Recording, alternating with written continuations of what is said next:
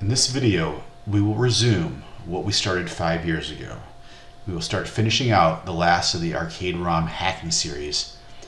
In this case, altering the checksums and altering the code such that when you modify arcade ROMs, the code that tests to see if it, the ROM is is okay will actually check against your ROM code, your code rather than the original code. A long time ago, about five years ago, I made a series of videos um, hacking arcade ROMs, and I never made the last episode. Uh, I got to lesson seven, part one, bypassing checksums, where I was showed you how to bypass checksum so that when it um, when you know you change your ROMs, the system didn't just crash and say, "eh, checksum failure." Um, but I never actually fixed the checksums so that the code would actually verify the checksums are correct with your new code. And over the years, people have asked me to finish that and make that video, and I think it's time to do that. I might actually have to make two videos for this because in the last five years since we made this, we have some new tools available to us. Tools that will greatly make our lives easier, specifically Ghidra. Ghidra is a reverse engineering tool, decom- um, disassembler, and decompiler that will seriously, seriously, once you learn how to use it, um, speed up your your process. I mean, literally, when I did this hack, it was the first hack I ever did, the Ikari Warriors hack. This was probably ten years ago, maybe more. Um, I think it took me like literally probably about 48 hours. Uh, my wife was on vacation. I went on um, on Friday night. I came home and I basically worked with very little sleep till Sunday. And had I actually had Ghidra, and all I had was MAME debugger at the time, but had I had Ghidra, it would have taken me a fraction of the time, literally maybe an hour or two, or well, this is my first tag, I think, so it's probably a little more than that, but a fraction of the time it would have taken. And now I remember actually a couple years ago I used uh, IDA to do an arcade ROM. IDA is like Ghidra, but it's expensive. And you know something that would have taken me probably you know again 48 hours. I think I had done in less than an hour. Ghidra is so powerful, and you're gonna want to learn to use it. I have videos on using Ghidra. If you haven't, you should probably watch my intro video on just getting it set up and comfortable with it, or watch anyone's video. There's probably a billion Ghidra videos out there now. Anyway, um, so we're gonna do this in Ghidra, and um, so you know this first episode here or the second episode lesson 7 part 2 five years later i'll probably show you how to get things set up in ghidra and start poking around from where we left off in the last one. So let's do it. So what do we need? Well we need to know a little bit about um, the roms. Um, and the easiest way to find out we need to, we need to learn know what processor the game Ikari Warriors runs on we need to know the Ikari Warriors uh, ROM layout, and we need to get the ROM the ROMs themselves. So the easiest way to find the data from um, is from MAME. So I'm going to go into my MAME directory, and I'm just going to type MAME64 list XML, the name of the game, Ikari, and I'm just going to, oops, Ikari, and then I'm just going to write it to Ikari.xml. Okay, that's going to dump a bunch of information. And now I use the program write, or, or um, which is I think WordPad actually, Ikari.xml. And I'm going to go down and down and down. I'm going to find out the ROM layout.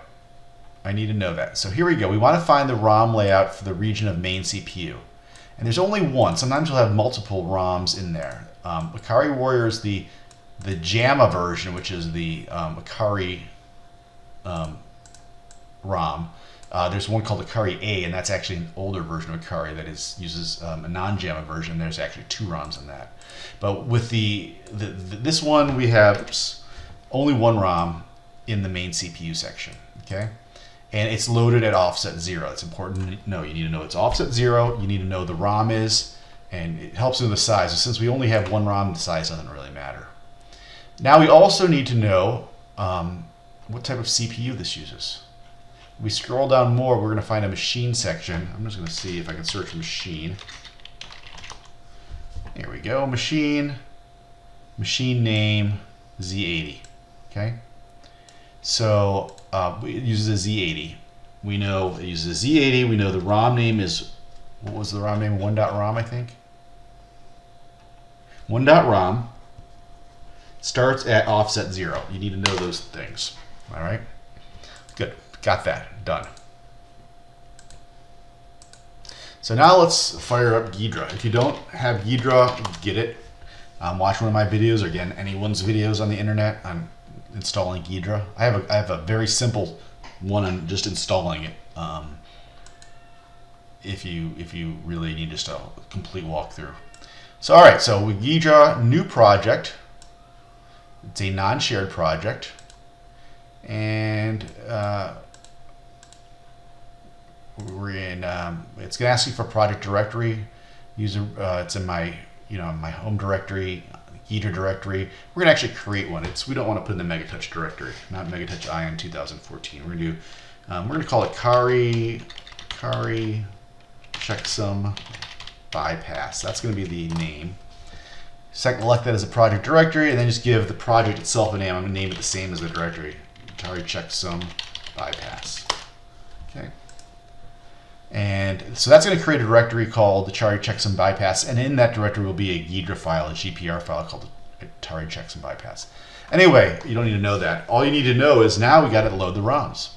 So we click on Atari checksum bypass and we hit I for import. Okay, and um, I already just loaded this to make sure I had the loading process correct, but you're going to have to find it where the ROMs are in your file system.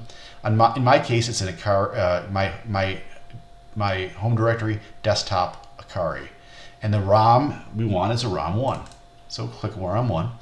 And now it's going to ask you some things. Um, Ghidra, generally, if you give it a file, it detects what operating system, what CPU, blah, blah, blah, and you don't have to really fill out anything. But because we're just giving it raw data, we have to tell it it's a raw binary. Ghidra figured that out.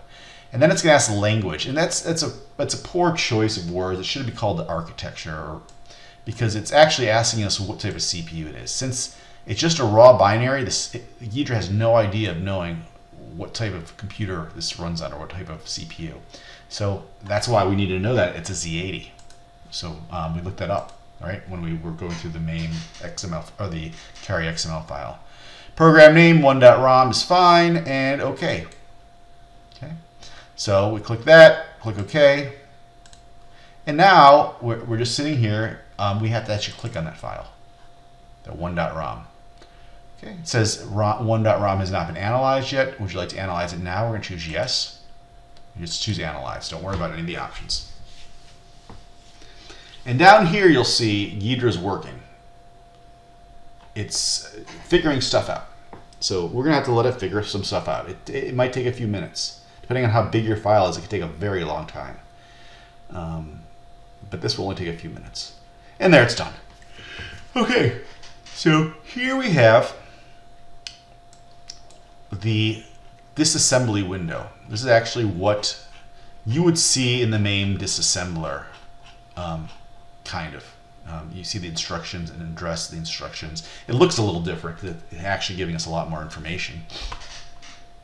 And then we have over here the function graph. Actually, I think that normally wasn't loaded, so I'm going to go ahead and load it for you. Window, function graph. Okay? And um, we're going to click on over here in the listing window, RAM address 0000. It's actually ROM, but it doesn't matter. The system thinks it's RAM. that doesn't hurt us either way. Okay, or Ghidra thinks it's RAM. It's actually not RAM, it's ROM, but it doesn't matter. So now we see something that you would never see in the MAME debugger. You see this flowchart, which actually lets you see how the code is flowing. So this address here is the beginning of the code, um, zero. And it's you can see what it's doing here. It's setting up a stack load stack pointer in this address, and uh, then it's going to disable the interrupts, and it's going to jump to this code, okay, right here, and it's going to do stuff. So this is actually, and you can see this. This is why one of the reasons Ghidra is amazing because you can actually see the layout of the code. Code you can see loops and things like that, which we will see in a bit. All right, so. Um, there you go. You're, up- you're loaded up with Ghidra. You got the Ikari loaded, um, Warriors ROM loaded. What we're going to do here is now we're just going to save the file. You might ma- make sure you save the file. And um, and then the next episode, let's start. We'll, we'll, we'll actually probably review the, the video part one, uh, episode seven, part one, to see where we left off because we don't want to go through this whole process of, of analyzing the ROM. Uh, I already did that in uh, before, so we'll see where we left off and then use Ghidra to figure out the rest and make it really easy for us. All right, that's it for today. Uh, I'll see you guys next episode.